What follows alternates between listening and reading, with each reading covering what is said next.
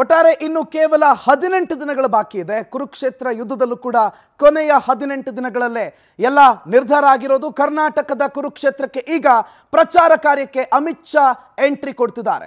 ಕರುನಾಡ ಕುರುಕ್ಷೇತ್ರದ ಪ್ರಚಾರದ ಭರಾಟೆ ಬಹಳ ಬಹಳ ಹೆಚ್ಚಾಗ್ತಾ ಇದೆ. ಕೊನೆಯ ಹದಿನೆಂಟು ದಿನಗಳ ತಯಾರಿಗೆ ರಾಜಕೀಯ ಪಕ್ಷಗಳು ಈಗಾಗಲೇ ಎಲ್ಲ ರೀತಿ ಸಿದ್ಧತೆಗಳನ್ನು ಮಾಡಿಕೊಂಡಿವೆ. ದೊಡ್ಡ ದೊಡ್ಡ ನಾಯಕರು ಘಟಾನುಘಟಿಗಳನ್ನ ಪ್ರಚಾರ ಕರೆಸ್ತಿದ್ದಾರೆ ಬಿಜೆಪಿಯ ಪರವಾಗಿ ಇವತ್ತು. ಚುನಾವಣಾ ಚಾಣಕ್ಯ ಕರ್ನಾಟಕಕ್ಕೆ ಎಂಟ್ರಿ ಆಗ್ತಿದ್ದಾರೆ. ಇವತ್ತು ಮಧ್ಯಾಹ್ನ ಬೆಂಗಳೂರಿಗೆ ಅಮಿತ್ ಶಾ ಆಗಮಿಸ್ತಾರೆ. ಸರಿಯಾಗಿ ಮೂರು ಇಪ್ಪತ್ತಕ್ಕೆ ದೇವನಹಳ್ಳಿಯಲ್ಲಿ ಲ್ಯಾಂಡ್ ಆಗ್ತಾರೆ. ಮೂರು ನಲವತ್ತೈದಕ್ಕೆ ಅಮಿತ್ ಶಾ ಅವರ ರೋಡ್ ಶೋ ನಡೆಯುತ್ತೆ.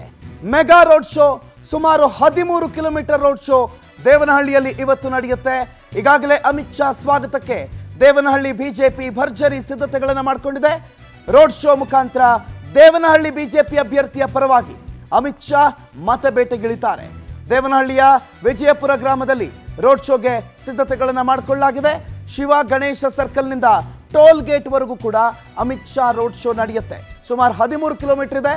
ಹಾಗಾಗಿ ರೋಡ್ ಶೋ ಸಾಗುವ ದಾರಿಯುದ್ದಕ್ಕೂ ಬಿಗಿ ಪೊಲೀಸ್ ಬಂದೋಬಸ್ತನ್ನು ಈಗಾಗಲೇ ಯೋಚನೆ ಮಾಡಲಾಗಿದೆ. Amit Shah mega road show ದೇವನಹಳ್ಳಿಯಲ್ಲಿ ಇವತ್ತು ನಡೆಯುತ್ತೆ. ಸರಿಯಾಗಿ ಮೂರು ನಲವತ್ತೈದರಿಂದ ಐದು ಗಂಟೆ ಹದಿನೈದು ನಿಮಿಷದವರೆಗೂ ಕೂಡ ಕೇಂದ್ರ ಗೃಹ ಸಚಿವ ಅಮಿತ್ ಶಾ ರೋಡ್ ಶೋನಲ್ಲಿ ಭಾಗವಹಿಸ್ತಾರೆ. ದೇವನಹಳ್ಳಿ ಬಿಜೆಪಿಯ ಅಭ್ಯರ್ಥಿಯ ಪರವಾಗಿ ಅಮಿತ್ ಶಾ ಪ್ರಚಾರ ಕಾರ್ಯದಲ್ಲಿ ಭಾಗವಹಿಸ್ತಾರೆ. ಇನ್ನು ರಾಜ್ಯದ ಎಲ್ಲ ಪ್ರಮುಖ ನಾಯಕರು, ಮುಖ್ಯಮಂತ್ರಿಗಳು, ಸಚಿವರುಗಳು ಎಲ್ಲರೂ ಕೂಡ ದೇವನಹಳ್ಳಿಯಲ್ಲಿ ಅಮಿತ್ ಶಾ ಅವರನ್ನು ಬರಮಾಡ್ಕೊಳ್ತಾರೆ. ಅವ್ರ ಜೊತೆಯಲ್ಲಿ ಆ ಪ್ರಚಾರ ಕಾರ್ಯಕ್ರಮದಲ್ಲಿ ಭಾಗವಹಿಸ್ತಾರೆ.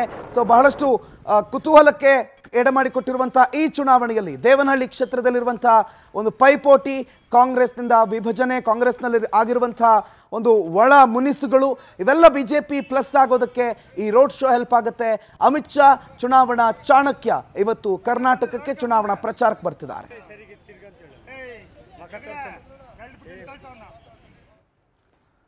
ಪ್ರತಿನಿಧಿ ರಾಮಾಂಜಿ ಲೈವ್ನಲ್ಲಿ ಜಾಯ್ನ್ ಆಗಿದ್ದಾರೆ. ರಾಮಾಂಜಿ, ದೇವನಹಳ್ಳಿ ಸಂಪೂರ್ಣವಾಗಿ ಕೇಸರಿಮಯ ಆಗಿರೋದನ್ನು ನಾವು ನೋಡ್ತಾ ಇದ್ದೀವಿ ವಿಜುವಲ್ಸ್ ಅಲ್ಲಿ ಏನೇನು ಸಿದ್ಧತೆಗಳು ಆಗಿದೆ? ಯಾವ್ಯಾವ ಸಮಯಕ್ಕೆ ಏನೇನು ಕಾರ್ಯಕ್ರಮಗಳು ನಡೆಯುತ್ತೆ? ರಾಮಾಂಜಿ.